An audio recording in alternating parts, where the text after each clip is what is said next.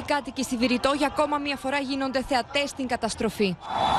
Στέκονται απέναντι και κοιτούν το κτίριο που βομβαρδίστηκε από τον Ισραηλινό στρατό τις πρώτες πρωινές ώρες σήμερα, σκοτώνοντας τουλάχιστον έξι ανθρώπους και τραυματίζοντας άλλους οκτώ. A building in the center, in the area called Bashura, just one kilometer from Lebanon's parliament and the prime minister's office. Ο Ισραηλινός στρατός, ωστόσο, ισχυρίζεται πως είχε στόχο θέσεις της Χεσμολά, ενώ πριν από λίγη ώρα δημοσίευσε βίντεο από τον βομβαρδισμό της Μπίντζαμπίλ, εξοντώνοντας τουλάχιστον 15 μέλη της Χεσμολά.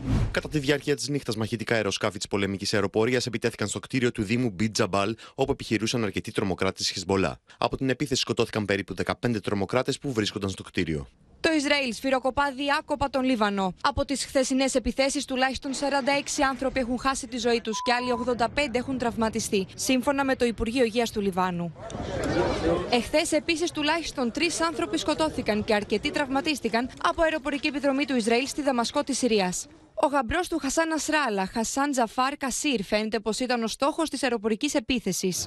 Σύμφωνα με αναφορές Συριακών μέσων, οι Ισραηλινές δυνάμεις εξαπέλυσαν αεροπορικές επιδρομές ξανά στη Δαμασκό, κοντά στη ρωσική βάση Χμεϊμίμ. Δεν έχουν ωστόσο αναφερθεί τραυματισμοί ή σημαντικές ζημιές. Όλα αυτά έπειτα από την πυραυλική επίθεση του Ιράν κατά του Ισραήλ με την ένταση να κλιμακώνεται επικίνδυνα. It was a calculated attack on a civilian population. Israel will not stand by in the face of such aggression. Israel will respond. Our response will be decisive.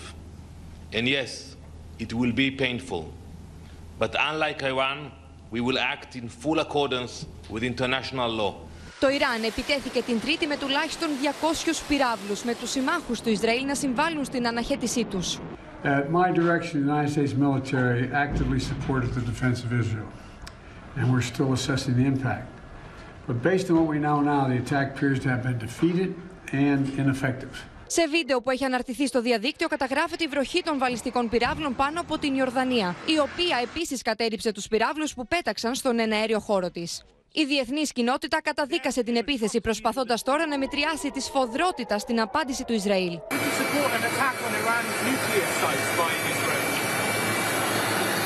The answer is no. Uh, and uh, I think there's things that we'll be discussing with the Israelis what they're going to do, but they have, all seven of us agree that they have a right to respond. Οι Ηνωμένε Πολιτείε δεν στηρίζουν το ενδεχόμενο το Ισραήλ να στοχεύσει πετρελαϊκές ή πυρηνικές εγκαταστάσεις του Ιράν.